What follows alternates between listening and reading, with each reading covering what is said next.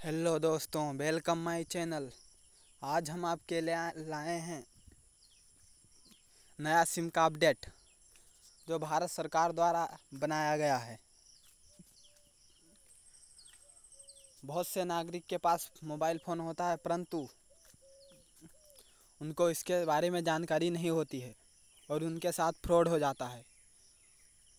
जैसे कि आप दुकान पर जाते हैं, सिम निकलवाने सिम तो निकलवा कर ले ले आते हैं। लेकिन आपको यह नहीं पता होता कि उसी आधार से और कितने सिम और वो निकाल सकता है। और वो निकाल कर फ्रॉड करता है उसके पास आपका आधार होता है इसलिए। इसी के कारण भारत सरकार ने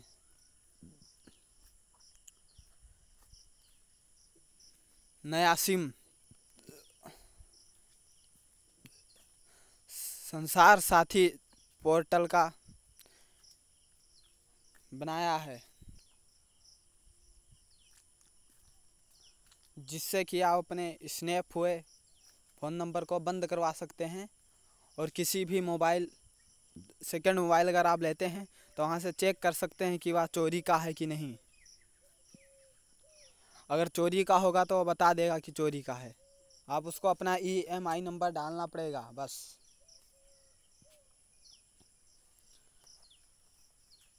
बहुत से लोग ऐसे होते हैं जिन्हें इस, इसी प्रकार मुंबई में एक ही आधार से छः सौ पचासी सिम निकाले गए थे।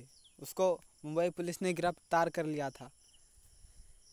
इसे गाँव घर में कोई जागरूक नहीं है इसीलिए इतना फ्रॉड होता है। इसी के कारण भारत सरकार ने इसे लागू किया है।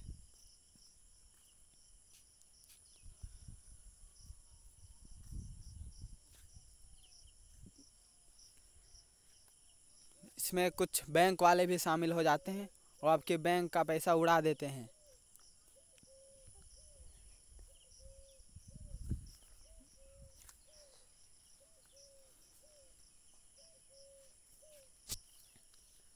केंद्र सरकार नया मोबाइल ऐप बनवाया है इसी के कारण कि किसी का फ्रॉड ना हो, क्योंकि नागरिक लोग इतना जागरूक थोड़ी होते हैं गाँव गाँव में कि इतना जानेंगे।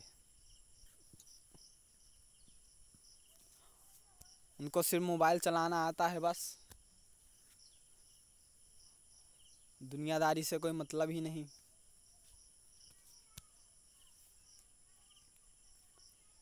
इसी के कारण मैं आपके लिए यह टॉपिक लेकर आया हूँ। आप देखिए और समझिए कि कैसे इसको किया जाता है। अगर आपका सिम कोई खो गया है और उसे ब्लॉक करवाना चाहते हैं तो आप सबसे पहले अपने मोबाइल के ब्राउज़र को ओपन ओपन कर लेंगे।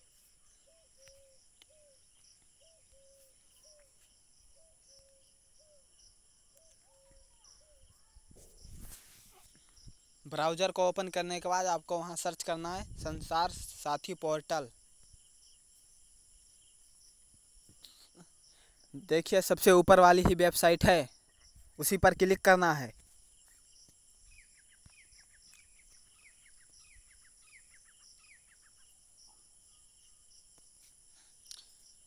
देखिए माननीय नरेंद्र मोदी जी इसमें शामिल हैं।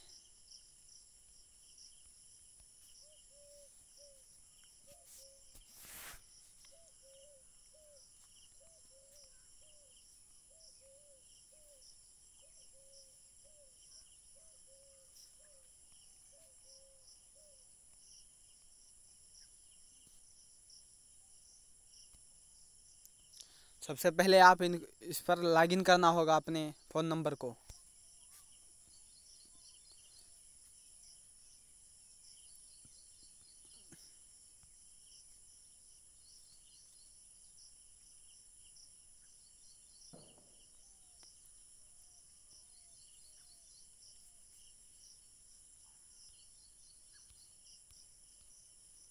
देखिए यहाँ इसके बारे में जानकारी दी गई है।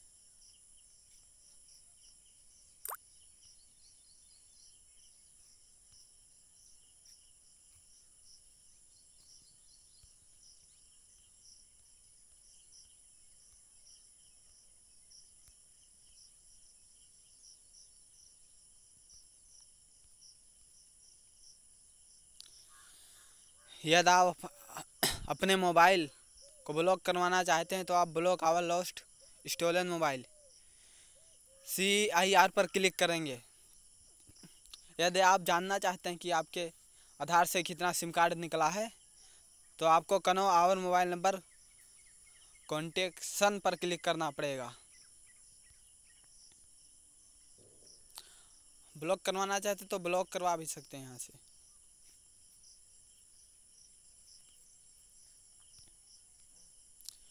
देखिए, भारत सरकार ने नया लागू किया है। ये तो नागरिकों के लिए बहुत अच्छा सेवा प्रदान किया है।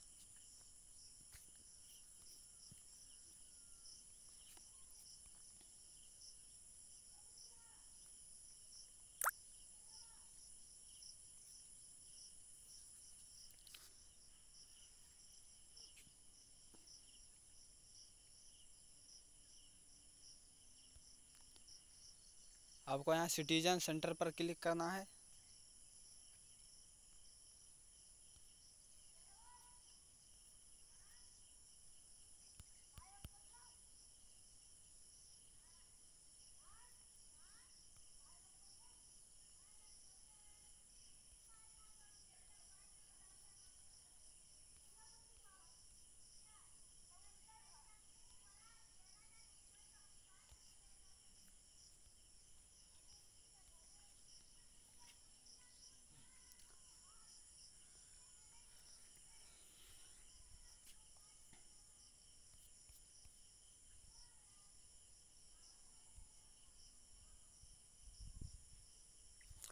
थैंक यू दोस्तों मुझे आशा है जानकारी आपको अच्छी लगी होगी।